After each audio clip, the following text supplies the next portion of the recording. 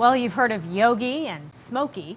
Now there is another celebrity bear named Bruno. The black bear was spotted in Lincoln County last night and seems to be headed south. Turns out this bear has been on the move for a long time and has gathered quite the social media following. Fox 2's Katherine Hessel is following the tracks of Bruno. An Elsberry, Missouri police officer took this video. While patrolling Wednesday night, he spotted a black bear along a dirt road. It turns out that black bear is Bruno. He was first spotted in Wisconsin on May 10th, crossed into Illinois a month later, and is now in Missouri.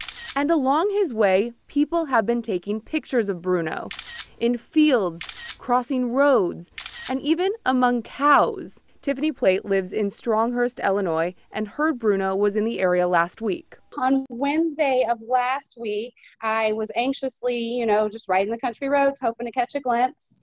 Didn't see him, pulled into the gas station here in Stronghurst and got out of my Jeep, walked into the gas station, walked back out, go on my merry way. My friend's waving me down.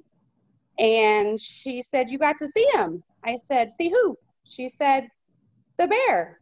I said, No, where is he? She said, Tiffany, he was literally right behind you when you got out of your Jeep. Tiffany joined the Facebook group Keeping Bruno Safe. She says less than a week ago, there were 300 members of the group. Now there are over 30,000. 2020 has been not a good year for anybody, and this is the one positive thing that has come out of 2020 so far. Dan Zarlenga with the Missouri Department of Conservation says they learned about Bruno a few days ago.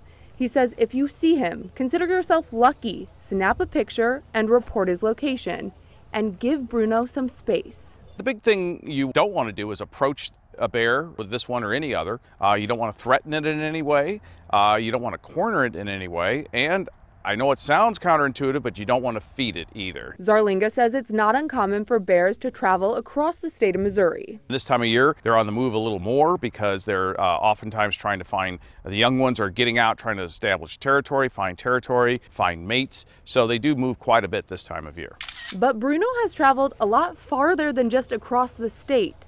Tiffany says he may be setting a record for the longest migration of a black bear.